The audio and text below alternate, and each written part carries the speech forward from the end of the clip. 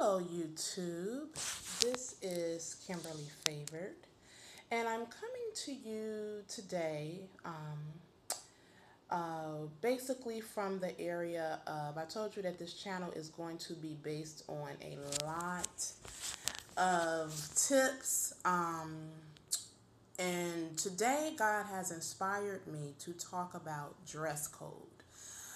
Um, this uh, is a topic that um, is very uh, silent in, in some churches. Um, as a believer, we are to dress a certain way. Um, and I ask God to anoint uh, everything that I say on this video. Uh, one thing about we have to do, which God revealed to me on today, is that a lot of churches are allowing dress codes, um, certain dresses, certain uh, attire um, to go on. And this is really uh, causing a lot of um, trouble and conflict in the church. Um, this video is not to judge anybody, but it's to uh, encourage you that you are beautiful and you can cover up. Um, I remember uh, as a, a baby Christian, I really didn't know how to dress either, but as I grew in the Lord, um, God had given me wisdom um, on what to wear, what not to wear, what looks good and what don't look good. Because when we put on our clothes and we go in our closet, we are representing Christ. We are representing Him. So when we take that clothes out of the closet, we need to first say, Will God be happy if I put this on? Or will He be unhappy if I put this on? Um, we both know uh, if he will be happy or not. Now, some of us are endowed, um, so some clothes we wear we just can't help, but sometimes some things will still show. But God wants us to look presentable for him in the kingdom. And when new members come into the kingdom, he don't want them to be discouraged as if they are in the world, watching the world in the church. So I bring this video to you to let you know you are beautiful and fearfully and wonderfully made. And you can wear a skirt down to your knees and still be beautiful.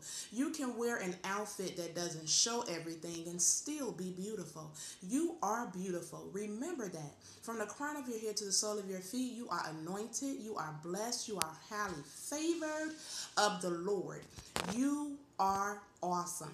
So this tip, uh, that I'm bringing to you this morning is to let you know you can dress modest and still be beautiful. You don't have to have things out showing because some of these things I'm gonna tell you it seduces. And it will seduce um, leaders. It will seduce uh, people.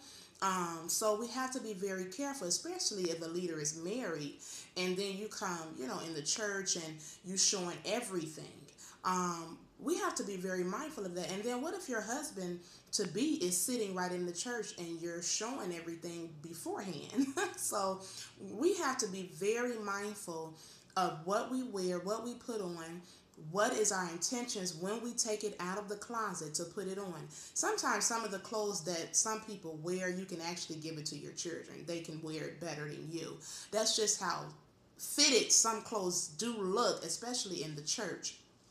So let's just be mindful. If some clothes are have gotten too tight for you, donate them and start over. Ask God to give you the, the, the money to start over a new wardrobe. Because I'm gonna tell you, dressing modest is what get you a anointed husband, not dressing like the world.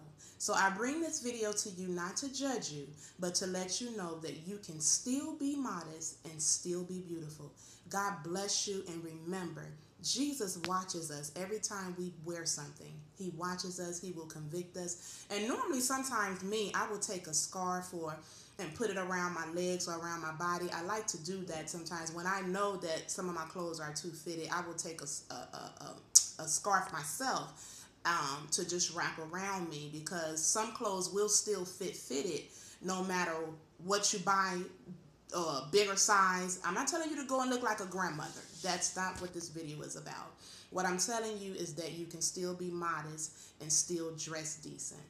This video is coming to you inspired by the Holy Spirit, which dealt with me this morning on how some churches are allowing members to dress any old kind of way, showing everything, seducing leaders. Um, and that's one of the main purposes is to, to seduce and, and to seduce leaders, especially if the leader is not married.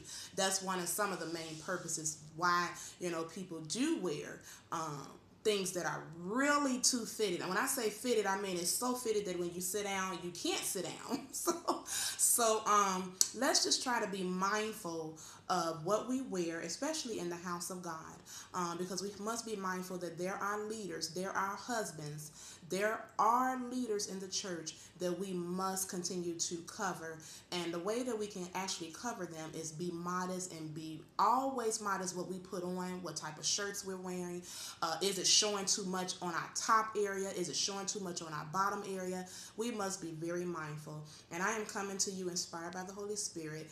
God has taught me how to dress, and I am bringing this video to you on how He has taught me. God bless you, and may He richly bless your day. Bye bye.